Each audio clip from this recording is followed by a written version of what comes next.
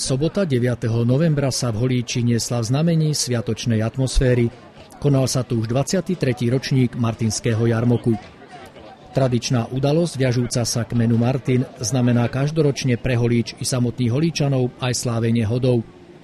Najmä pre veriacich bola o to významnejšia, že holícká rímskokatolická farnosť, ktorá je zasvetená práve svetému Martinovi, oslavuje v tomto roku 300 rokov založenia.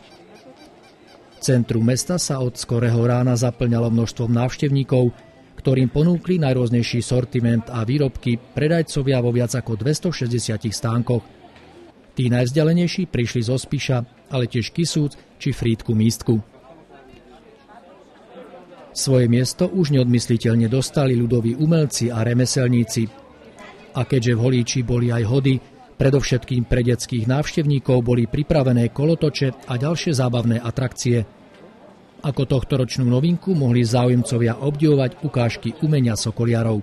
Pokiaľ nebude pršať, tak pevne verím, že všetci návštevníci tradičného martinského jarmoku si ho dnes užijú a že si tu nájdú to, čo potrebujú kúpiť a hlavne, že si tu pochutnajú na ozaj vynikajúcich pikantných grillovaných klobásach.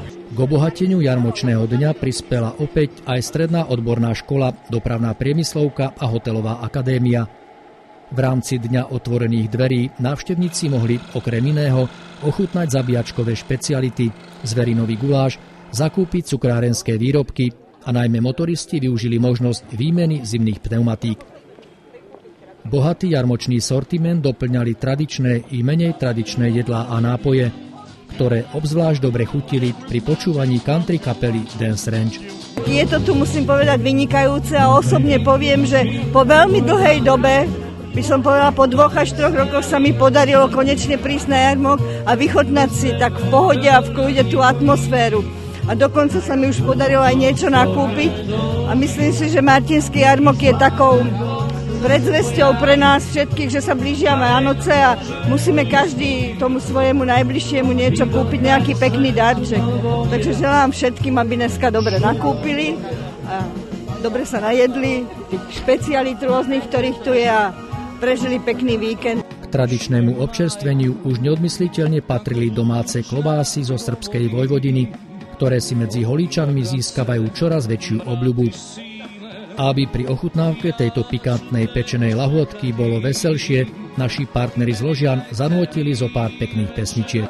Sme tu na jarmoku po 7 krát, kde prezentujeme naše dolnomzenské klobásy a taktiež našu dolnomzenskú, slovenskú a trochu aj srbskú hudbu. Ako som povedal, čo sa týka samého jarmoku, sme tu 7 krát, bar iba ja, a samozrejme som 14 krát, 15 bol v holičúrstvu delegáciou alebo s folklórom, takže pomaly sa tu cítim už ako doma. Skoro by to povedal nie partnerské mesto, že na Hodič Ložanom, ale je to bratské mesto na Hožančanom. Súčasťou jarmočného podujatia bol aj tento raz slávnostný hodový obed. Okrem predstaviteľov mesta a poslancov mestského zastupiteľstva sa na ňom zúčastnili zástupcovia cirkví pôsobiacich volíči, ako aj poslanec zastupiteľstva miestneho spoločenstva Hložany Rastislav Struhár.